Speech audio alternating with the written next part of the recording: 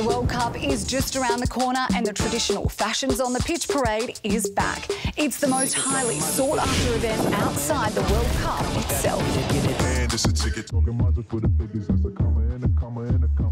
Ciao. Whoa, whoa, whoa, whoa, whoa. Name? Mi chiamo Italia. What? No, no, no, You- stasera mate, sì, sì. You're not on the list. ma no, no, Don't make this harder than it needs to be. Stasera... Today, champ. A ticket talking for the biggest. That's a comma and a comma and a comma. Gotta Don't make this harder than it needs to be, mate. You're not coming in. Hey, Hey, welcome back, mate. good to see you again. It's good to be back. Oh, stronzo!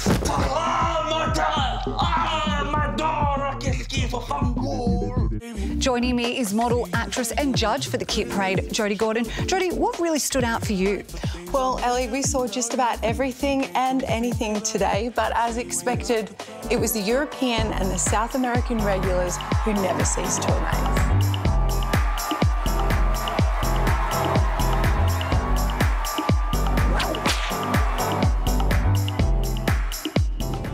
Were there any that really caught your eye?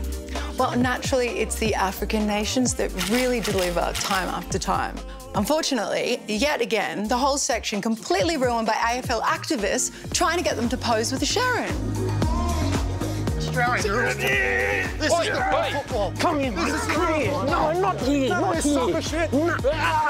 And weren't the models just beautiful? So, so beautiful.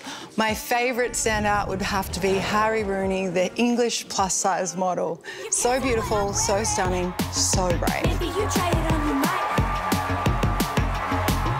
Cause everybody loves you and everybody wants you too. Harry, you were truly stunning and so brave out there today.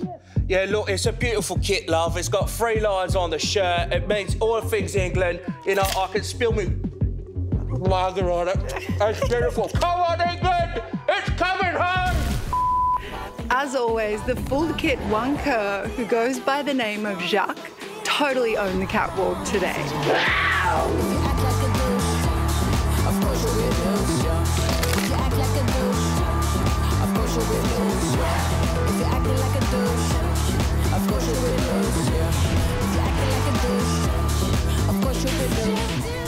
some beautiful people.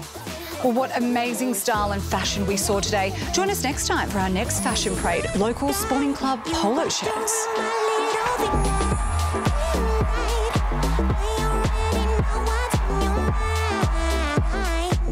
Until next time, always remember to take fashion to the Ned's level.